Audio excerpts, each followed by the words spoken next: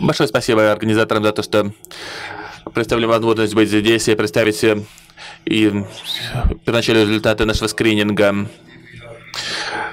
Мы уже закончили скрининг 4,5 миллионов женщин. Я постараюсь его суммировать. И перед тем, как я начну, я хотел бы поблагодарить всех присутствующих, особенно э, председателей, потому что это люди, которые во много позволили сделать э, это реальностью. Программа скрининга, которая использует э, ДНК ВПЧ. И Турция была первой страной, которая начала эту программу. Я дам вам результаты. Я надеюсь, что это сможет э, придать вам определенную мотивацию и показать, что практически во всех странах мира можно выполнять скрининг. Мы уже знаем о, о программе ВОЗ.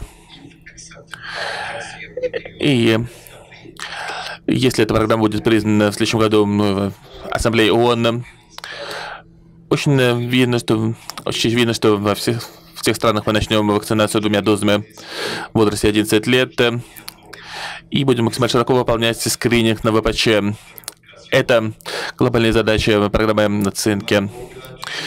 Я знаю, что в некоторых странах э, необходимо начать только программу скрининга и некоторые пилотные исследования ВПЧ, получая определенные данные, прежде чем они смогут работать с реальностью.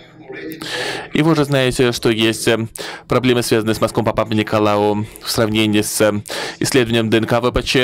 Я не буду давать вам те же научные доказательства, что уже изучали. Но в моей стране основная проблема состоит в организации программа, которая сталкиваюсь при работе с цитопатологами. Что это означает? Э, мы можем выполнить скрининг можно брать образцы, но необходимо цитопатолог, который будет изучать полученные мазки. Если,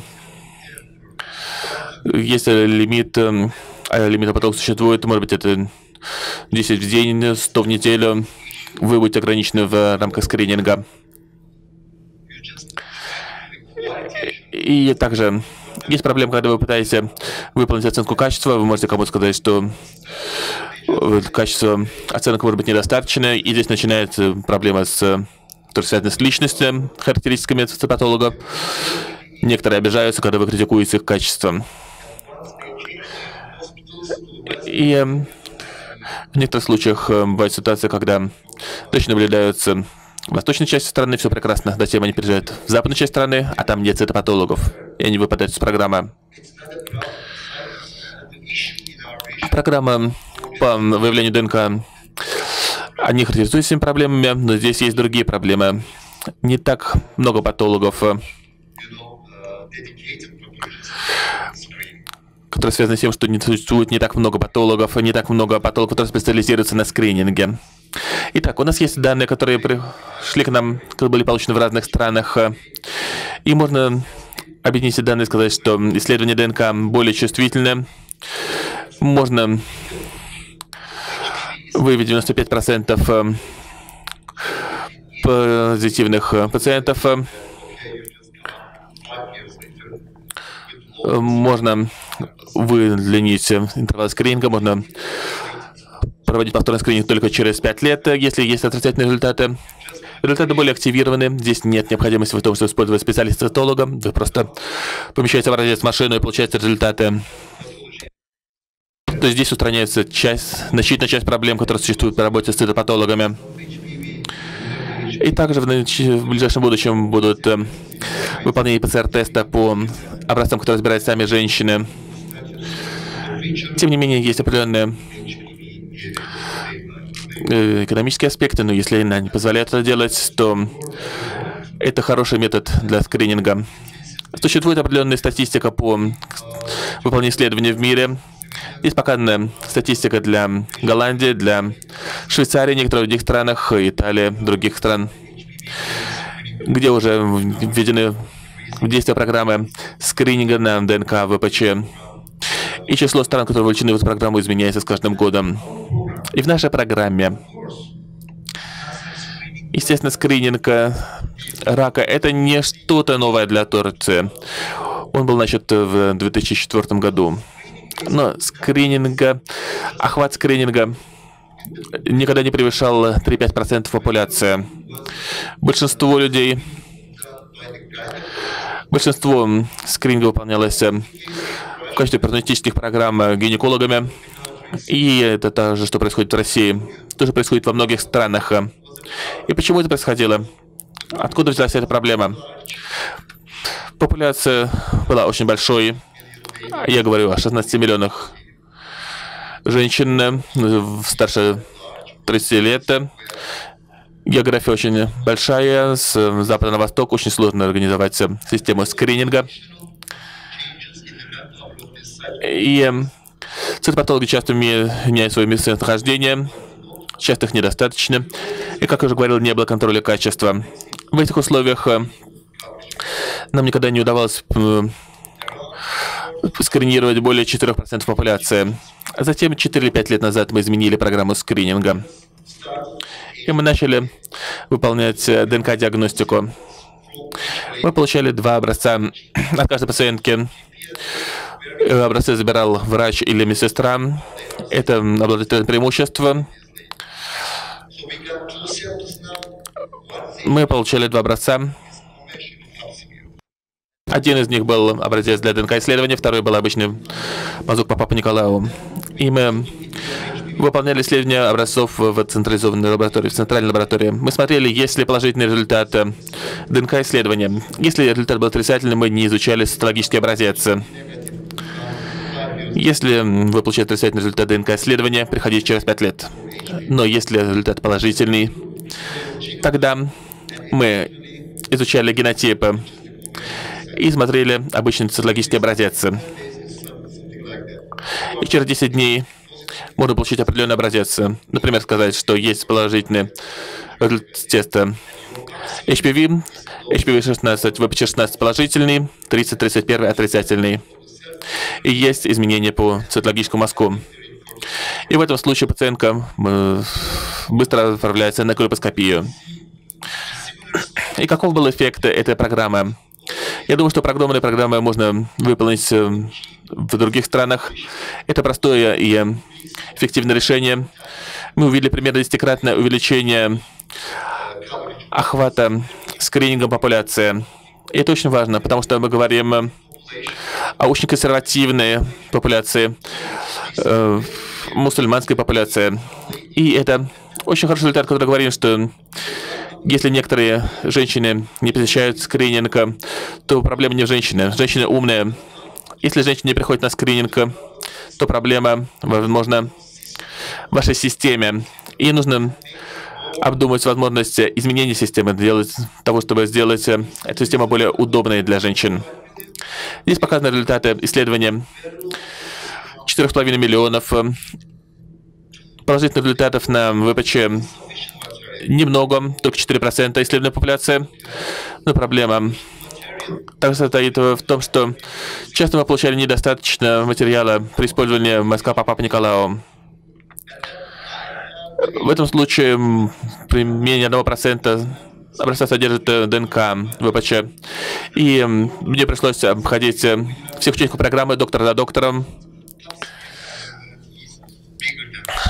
И в этом случае мы смогли увеличить эм, количество изменений, которые выявлялись по Макапаму Николау. Это очень хорошие результаты. Какие генотипы набирались? Какие генотипы мы видели в нашей популяции? Это генотипы в популяции. И как ожидалось в популяции, мы видели часто в общей популяции э, варианты ВПЧ 16-18. Но если мы касаемся женщин, которые уже Вообще позитивно это проблема 16-18. Мы здесь видим, что здесь Турция, Турция отличается от Ев... Европы и Азии по распределению генотипов. Здесь показаны результаты оценки Москвы Папа Николау у женщины с позитивным результатом в ВБЧ диагностике. И здесь опять-таки важно отметить, что в результате нашей работы снизилось число случаев, когда мы не получали точное количество материалов. Обычно при инфекционном воспалении у 35% женщин мы не получали точного материала. Это было неприемлемо. Теперь это число таких пациентов э, менее 10%, а при диагностике это менее 1%. Здесь показаны результаты биопсии. И здесь мы видим, что у 40% пациентов э, гинекологи не делают колпоскопии. Они просто проводят повторный скрининг на ВПЧ. Это не нужно. Это только сбивает только пациента. Поэтому нам необходимо продолжать образовательная программа, необходимо обучать кальпоскопистов и естественное качество в закрытой области.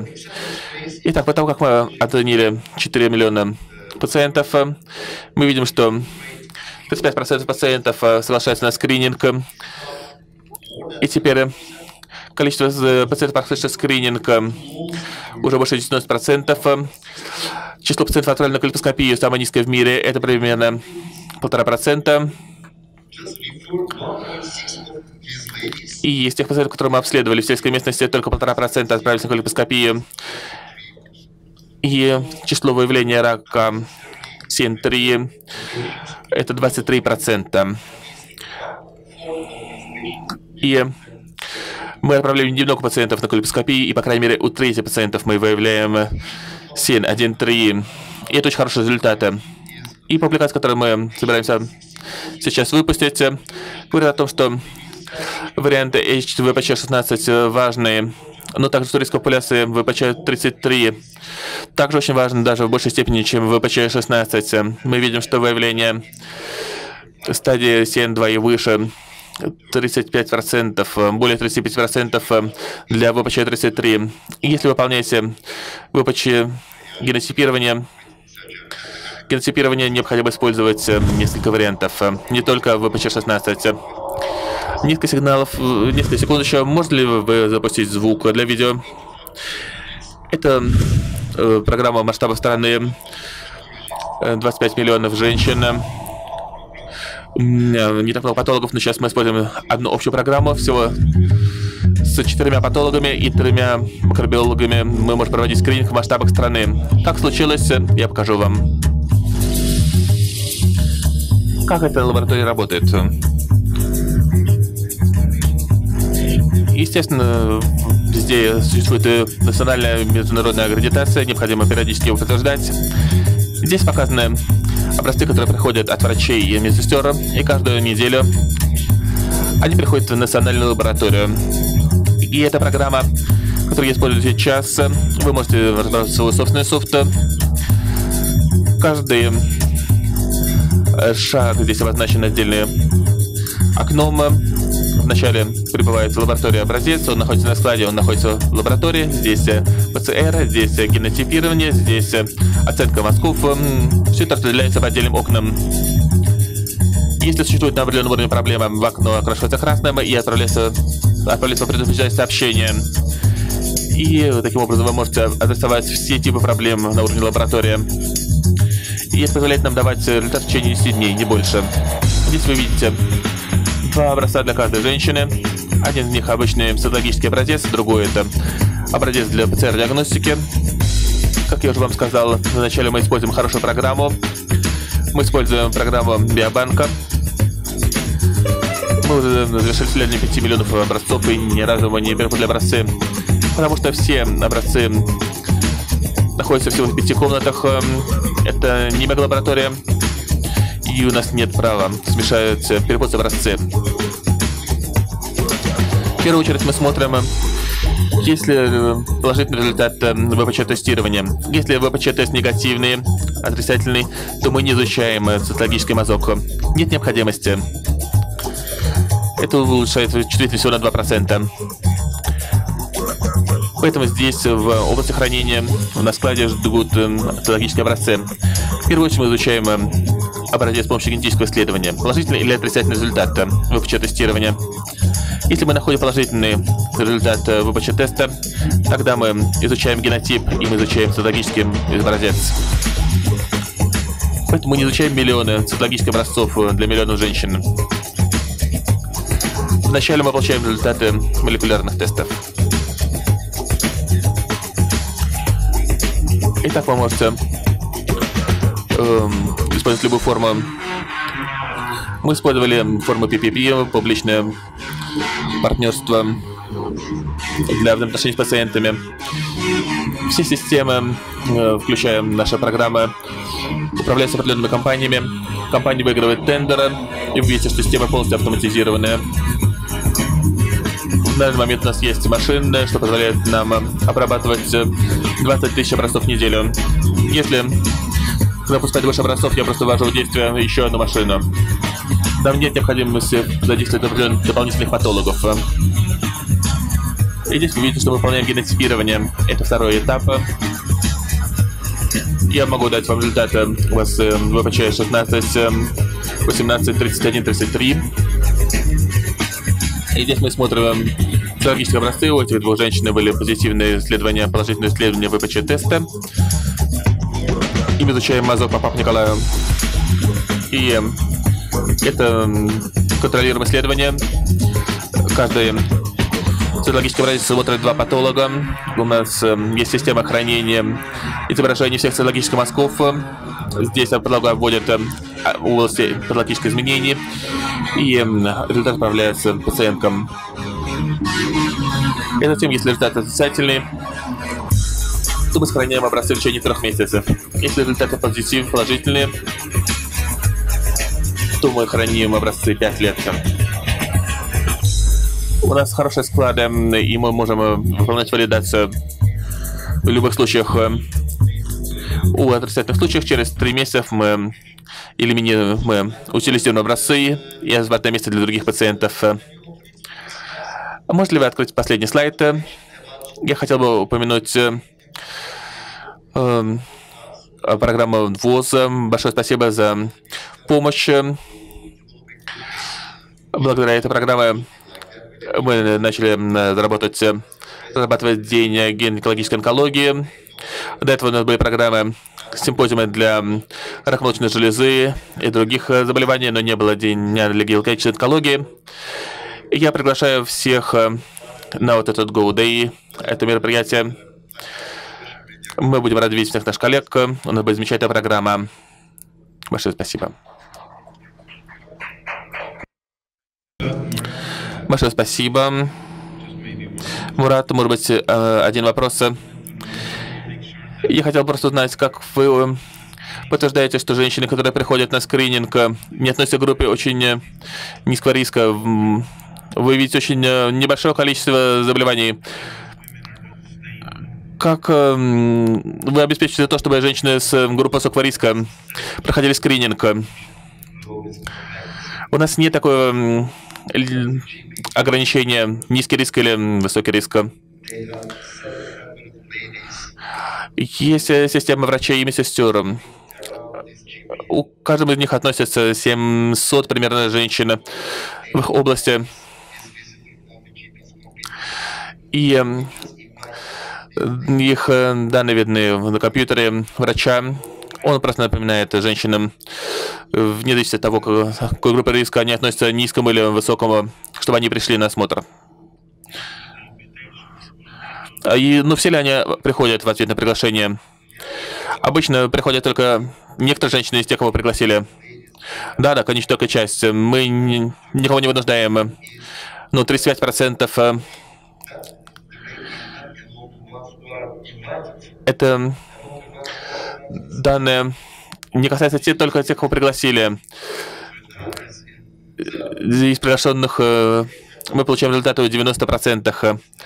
Да, конечно, э, врачи не всегда очень настойчивы. Но это то, что они делают добровольно.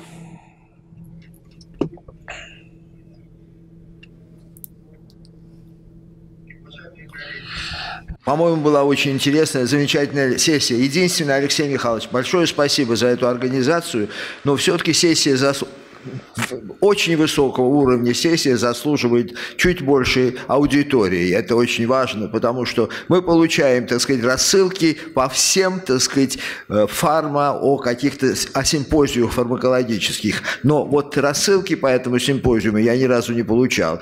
Заслу... и столько усилий, и нужно, хотелось бы, чтобы было бы больше людей. У нас вот 24-25 в Москве прошла конференция. Трудно было, конечно, но, но эта конференция была посвящена теме, именно этой теме, первичной и вторичной профилактики опухолей, ассоциированных э, с ВПЧ. Но мы в 600-местном зале собрали более 400 сот человек. Все-таки это хорошо до, до начала. И я хочу повторить то, что уже говорил Алексей Михайлович, что внимание к этой проблеме усиливается, и мы должны продолжать работать для того, чтобы, так сказать, все-таки мы вошли бы в состав развитых наций, вот по этому, по этому так сказать, компоненту. 92 два государства включило в календарь вакцинации, э, тести, э, ВПЧ, то есть э, вакцинацию 92 страны. Из них 20 стран вакцинируют уже и мальчиков. Ну, просто, так сказать, хочется, чтобы наша страна была на уровне, и наши женщины получали то, чего они заслуживают, соответствующее внимание. Теперь, если можно конкретно об одном, одно наблюдение. Елена Александровна показала очень важный слайд, но почему-то на него не обратила внимания. Значит, это прогноз заболеваемости раком шейки на матке в Австралии, в которой, как мы знаем, 2007 года проходит вакцинация. Австралийцы прогнозируют, прогнозирует, что в 2030 году у них будет 4 случая рака шейки матки на 100 тысяч женского населения. Алексей Михайлович посмотрел прогноз, мы посмотрели прогноз. По нашим данным, в том же 2030 году в России будет 30, около 29, чтобы случаев рака шейки матки на 100 тысяч населения. По-моему, это о многом говорит. Во всем мире во всяком случае в развитых странах, во всяком случае в Европе и в Северной Америке и в Австралии заболеваемость и смертность, главная смертность снижается. А у нас этот процесс, в общем-то, идет в другом направлении. Спасибо еще раз участникам конференции, спасибо, успеха, удачи.